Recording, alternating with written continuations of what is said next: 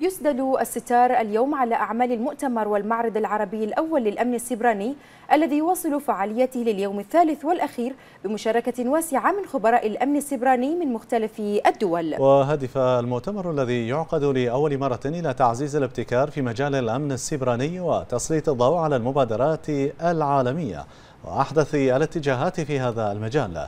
وأقيم المؤتمر تحت رعاية صاحب السمو الملكي ولي العهد رئيس مجلس الوزراء في مركز البحرين العالمي للمعارض بمنطقة الصخير حيث سلط الضوء على الأمن السبراني الذي أصبح اليوم ركيزة أساسية لقطاع المعلومات والاتصالات في العالم لمواجهة المخاطر السبرانية.